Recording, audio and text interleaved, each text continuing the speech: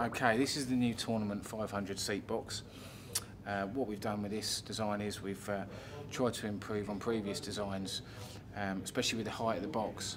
So this has been designed to sit a lot lower to the floor and also with the um, leg handles it's also we've moved those on the inside of the box so it makes the box a lot narrower um, which uh, makes it easier for the angler to load in and out of their um, car um, and it stops any possible damage done on those handles as well. Um, this actually features our own um, unique clip system. So this is the OT clip, uh, OTC clip system, which is one touch clip.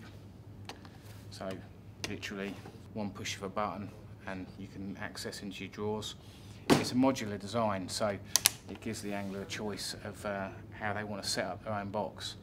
Um, it comes with an absolute stack of kit. Um, we give uh, the choice of a sliding jaw unit, so it's got two sliding jaws, or we'll also have a, a, front jaw unit which has been specifically designed for the box. It's actually also supplied with two winder trays. Uh, the winder trays can be taken out.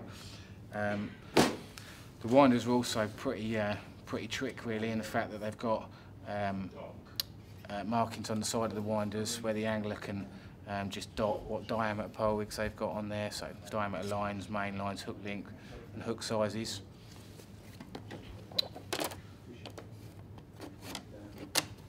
And it also comes with a stack system.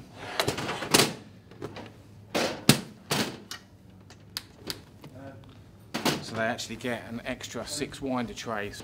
And what we've also done is we've given the angler a choice that they can have a short leg uh, system. So when fishing, uh, possibly fishing a feeder rod, they want to get quite low profile down to the water, or even um, fishing on commercials long down the edge.